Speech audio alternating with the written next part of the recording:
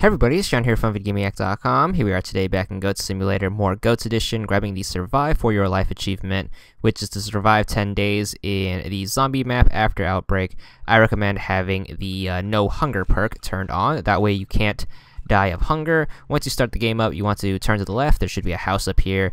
Jump on the car and then jump onto the roof and then jump up here. And I'm just going to chill out on the chimney.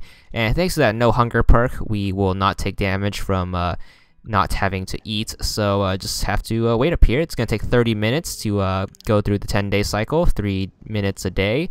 And uh, once you do, you should get the achievements for 30 gamer score. And that's all there is to it.